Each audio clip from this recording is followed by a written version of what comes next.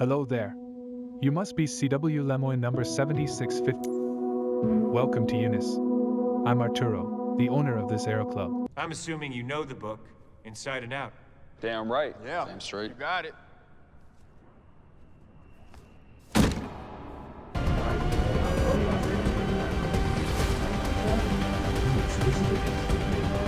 Uh-oh.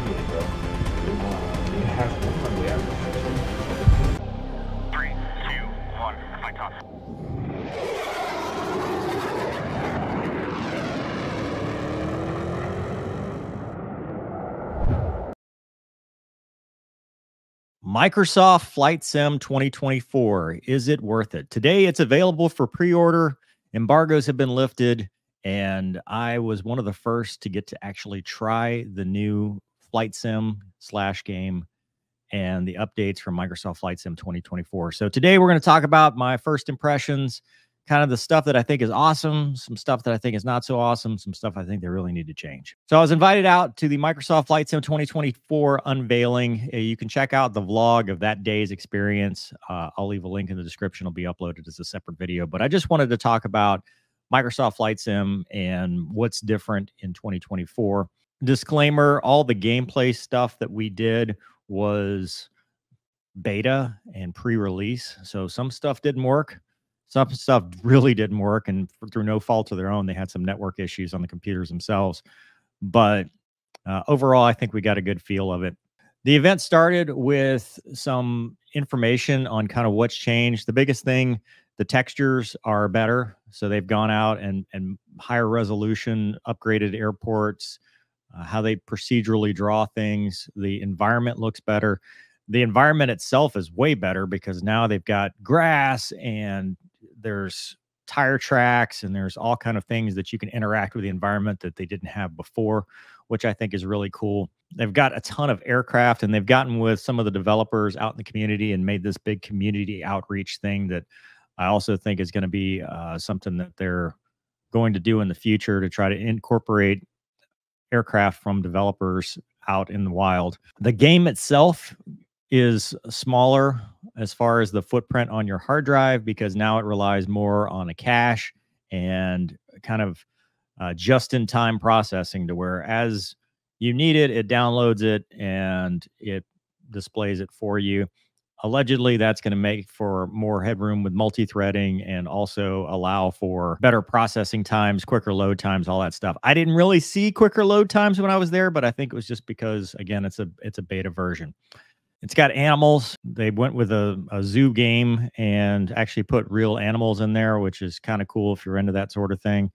And the physics model is obviously a little bit more uh, fine tuned, and they use more data points to create uh, the physics. So, in general, the, it should feel like more like a real airplane uh, as it goes around. And in my experience flying it, I didn't really see a difference, but I'm always of the mindset that it's doesn't matter if it's a professional grade sim or a, a game off the shelf. It's very hard for me, especially with no feel, to kind of tell what's real and what's not. There's some stuff that's just completely ridiculous.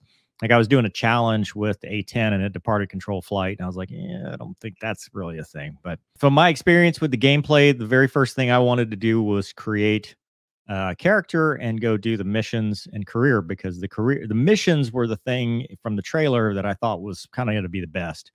And the concept is great. I love the idea that they're going to use this to inspire the next generation. In fact, I talked to uh, Jorg about it and that's their goal is just to introduce people to aviation. One thing that i want to ask you and kind of commend you on you talk about accessibility hmm. with microsoft flight sim and my big thing with my channel is like make them tell you no trying to inspire the next generation because we have a pilot shortage nationwide worldwide stuff like that. Is that part of your consideration as you move towards missions?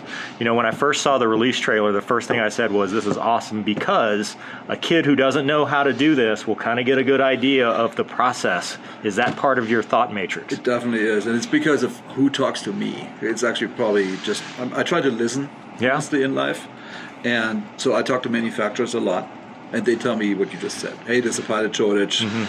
Like China alone, I think needs 400,000 pilots, 800,000 worldwide. There's not enough level Yeah. D. There's not enough in the entire spectrum of learning. There's not enough, and they all say, please help us. Um, the other thing that's happening is we talk to stuff like Sécurité Civile, which probably doesn't tell you much, but it's the it's the center of firefighting in Europe. This happens to be in France, and they said we, we, we need more people. Like we need Yeah. re- recruitment. And I said okay. And same with the uh, the Coast Guard. I, I talk to the Coast Guard a lot because I live in Seattle, and they have the same problem. They're like. Can we get people in a playful way to understand what we do and hopefully fall in love or see the purpose of it all and, and, and, and stay? And and so they all volunteered. That's the cool thing. Like um, they, they all said, hey, if you want to know how we do our job, I mean the the firefighting guys are like, we tell you how how fire propagates. We tell you how to do corridors. We tell you that they want us to be successful, and I think that's why it's probably the thing that makes me the most happy about this entire endeavor of flight sim. It's it's it was always like the, the as real as real gets, and you know, the, Mm-hmm. as real as it gets, all that stuff. But I think we're really impacting the real world. That's what Yeah. that what's make, make makes me so happy, and I think that's where we can really make a difference. So when you show up, you have a character that you create. So you you know make them look like you, or make them look some semblance of you, or whatever's close enough. And then you pick an airport that's not necessarily a large airport. So they don't have them all. Like I learned how to fly out of Opelousas, Louisiana. That wasn't one of the choices. Lakefront wasn't a choice either. So I went to Eunice, Louisiana, uh, and you do go through a cutscene and you meet your instructor and you do a discovery flight where the instructor taxis you out and then you take off and then fly around through the little squares and then they say okay your introductory flight's over. Now you've unlocked the ability to go and do training. So you can do all the training takeoff landing uh, all that stuff and then as you progress you get to your private pilot check ride and then that unlocks instrument check ride commercial check ride going to helicopters uh, and then that is how you unlock the missions. So once you have that, you've got missions such as charter, search and rescue, firefighting, uh, ag spraying, both in airplanes and helicopters, and all the way up to ATP. And then that will unlock special missions like the A400 assault landings and stuff like that. The only way to get to the missions is by doing the career. So this was my biggest point of contention, and I think this is going to annoy people, including myself because I talked to the developers about it. And my first point right out the gate was Is there a way to skip it? Because in the test, there was no way until they went to the advanced options, developer options, and pulled another save game. And I was able to go try like firefighting and ag spraying and stuff like that. Those missions were a lot of fun. They're really cool. They have audio associated with it. So it's not just you go do it and there's no feedback there's actually like in firefighting there's like a the jtac equivalent there and the ag spraying you know you've got somebody telling you hey this field needs this or whatever. But the only way to get to that is you have to go and do all the check rides. Like there's tests. And the developers were adamant that that is required to give people a good baseline to know how to fly and that they would be lost without it. And there's no instant action version like dcs or other games where you can skip it and just go play the missions that you want. So first, that's the reason why we built the career this way. Is like you have to unlock those certification and those things, but for someone who is not acclimate, acclimated, acclimated, Yeah. uh, they will need to do the trainings and even sometimes do several of those missions in order to really feel good with just flying a plane, you know. Uh, but if you are already comfortable, so take, typically I do not do anymore do any of the training. I directly go to the exam, mm-hmm. and and thanks to this, you basically bypass all all the, all the trainings, and you can drive your way pretty fast to the type of activity you want to do, and so it's the same for the certification thing. The reason why we did this is f- both for what we've observed based on the user research we, we, we made is like for the majority, the, the, a huge majority of people playing the game, it's it's if if we don't do this, they are lost. The other argument I would have for you, it's the fact that uh, you know when you're a simmer, you play a lot you play a lot. So basically, it's a, it's a this issue we are talking about. It's like in in six hour, you guys, you will gonna be have you you will gonna have open almost everything. I mean everything you wants to have open. So it's not like if you would have to farm during three weeks before you can even start to do the the the, the, Right. the Canada experience. So on the lifespan of the game, it's not a big deal. You will basically okay have to wait for I don't know two three days of play before you can actually uh, maybe depending on the amount of time. But basically, it's a weekend. I don't like that. I don't think flight simmers that have been doing this a while are going to like that because I personally have no interest in Cessnas. Like I flew Cessnas for a long time. I've got a real world ATP. I've flown fighters, I've flown airliners, I've flown helicopters. I just want to go do firefighting or or just a simple mission. Now, an upgrade program within those missions, okay, I can see that. But to have to start as a private pilot and you can skip, you can skip and just do the check rides, but you know, eh, I, he said in a weekend, which who has time for that? I don't. You know, I just want to fly for an hour and a half, about an hour, hour and a half, and be done. And so I gave him that feedback. I don't know how well received it was, but I think that that is something that they need to fix. And I think a lot of other creators that were there agreed with that because just people don't have the patience for it. I don't have the patience for it. You know, I, I mean, I don't want to play video game check rides. So that part, not that great. The missions themselves, though, once you get to it, because I was able to skip as part of the developer options, they're fun. They're good missions. Crop dusting was a lot of fun. I know T Bear would probably like that. The helicopter crop dusting, it was hard with the controller I had because you have to land on the truck, and I absolutely wasn't able to do that. That's yeah. The other missions I didn't get to, I ran out of time on the firefighting and stuff like that. So I'm not 100% sure, but it looked like it was going to be really awesome, especially with the calm and you could see the, the fire in the distance and stuff. The other downside too is that it's not part of free flight and it's not multiplayer. So, you know, you can't just create a mission and then go fly it or uh, go fly with your friend. It is just single player and just part of the career. So I think that is the negative draw. Now, if you go from the beginning to the end, I think you're going to have a lot of fun. And if you're somebody that's new to aviation, I think it's going to be a great way to get your feet wet. And I love the recruiting aspect of it just for aviation in general because it will show a kid, hey, here's how it is. Because that part is accurate. You know, it's got your high performance endorsement, your, your all your ratings and all that stuff. So it kind of shows people here's the path. So I like that it exists. I don't like that it's mandatory as far as the other parts of the game challenges there were only two challenges available in this and the developer said the idea was for it to be about two minutes. So you know some some little quick thing you can do in, in two to four minutes just to have fun and there's leaderboards and you're ranked and you go do that. It's a little arcadey. Uh, the only thing that was available was the a10 speed run which the way they had placed the instructions, it was kind of hard to figure out what you were supposed to be doing, like how you got points, because you know, do it a couple times, you're like, oh, I see.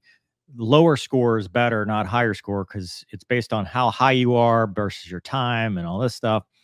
Uh, the A10 doesn't really fly like an A10, or at least the A10 sims I've flown, but that's to be expected. I've never really seen them fly all that well. It's hard for them to get data, right? And so I also tried the landing challenge with the helicopter, which I can't really talk to because I had the assists on because I'm running uh, a fighter cockpit, not a collective and, and throttle. But uh, it just seems it seemed like a fun thing to do, and I'm sure there's more challenges that'll be there that will be fun as well. So I'm not going to say it's bad or good. I, I don't know that I would do a lot of them, but I can see the utility, and it seems like it's a lot of carryover from the previous game.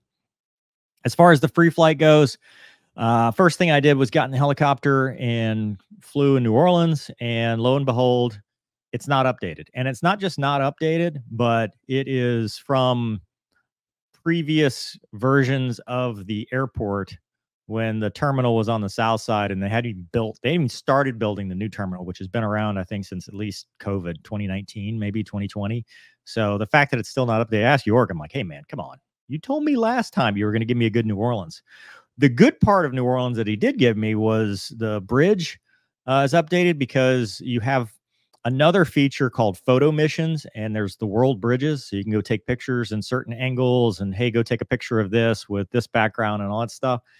So they've updated that, and the Crescent City connection looks good. The Superdome looks good. Smoothie Ki- Smoothie King Center and all that stuff. That all looks great. Um, so I guess the city looks good, but the airport is just not right. So maybe eventually they'll upgrade that and give me a good New Orleans so I can go check my top of tees uh, in virtual life there as well. But the graphics look better overall, look sharper.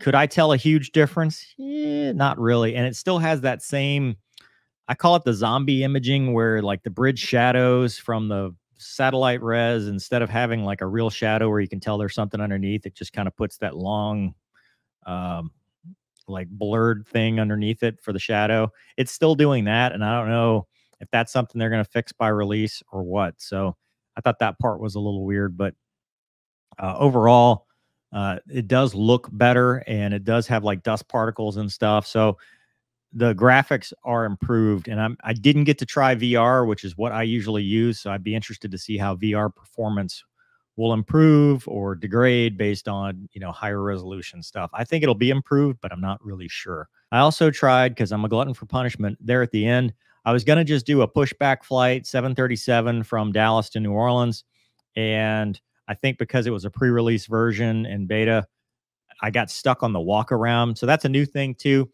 The game wants you to do walk arounds and pull like pitot covers and engine plugs and all that stuff. And there are consequences if you don't.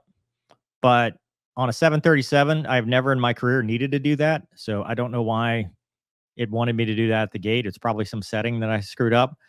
And I couldn't get past that part. There was just some buggy stuff they just didn't have quite right. So uh, that is part of the career mode as well. And the career mode, going back to that, also has some other persistent stuff that I think is cool. Like you you build income and reputation, and if you don't fly the mission right, you know your reputation goes down. And if you crash the plane, you can. If you own the plane, you'll lose the plane. If you break the plane, you'll have to fix the plane because you have owner modes and you can buy your I mean if you got enough money you could buy your own airline which that to me is really cool. But the persistence thing is hit or miss, right? Because if I'm flying around and the power goes out, I just lost that reputation. If I'm flying around and I quit because I have to go do something else, I lose that reputation and that money. So there's no like soft exit where, hey, I can pick this up later or whatever. I, you're just SOL. You lose the progress and you know actually go backwards. So that's kind of eh, not not great, but I think that's common in other games as well. But it, it's just cool that it has that kind of capability, and you know, I think people will enjoy doing that, uh, especially with failures. You know, if you're not maintaining the aircraft, you may have a, a, a failure of some sort. So that I thought that was that was really cool. As far as the uh, weather goes, they added cirrus clouds. I think they fixed the lightning stuff. There's more wa- weather capability, so it should look a little better. Thicker clouds. So, uh, and they're also talking about doing like a 24 hour look back for weather. So if you fly through a thunderstorm, it actually looks like you're bouncing around in a cloud, not just these real thin, wispy clouds for a thunderstorm. So uh, the weather model has increased significantly. Didn't get to try that though, so uh, I don't know how it's going to work. But will I try it on day one? Yeah, I think having it on my own system in VR will probably be a lot better with my own controllers than you know sitting at the at that console. But I think there's a lot of promise with the game. And just like Microsoft Flight Sim 2020, there's going to be a lot of updates. There's going to be a lot of support for it. And everything from Flight Sim 2020 is is compatible with 2024. So if you bought modules and you bought uh, scenery and all that stuff, it all can go in your community folder and still be used in 2024. So it's not like it's all lost because I've got some stuff too, helicopters and all that stuff that I'm going to try once it comes out. So uh, I'm excited for it, and I hope they're going to take some of these suggestions and implement them, especially with an instant action or an ability to skip around in the career without having to do all the check rides and stuff. And um, I think that some people are going to be disappointed with that, but just like anything else, they'll get over it and then they'll realize it's it's an improvement overall with a better game engine, and it'll be just as much fun as before. Uh, it's available for pre-order now. I think it comes out in a couple months. So uh, I'm excited to try it and see what they've done to develop it between now and when it actually comes out and release, and then what they do to improve it. Like I said, they've been very community oriented in trying to improve the game. So, uh, but let me know in the comments what you think. Maybe I'm wrong. Maybe you do want to go and and do Cessna check rides from day one. Um, that's just not for me. I don't know. Hope you guys enjoyed this episode. Thanks for watching. See you next time.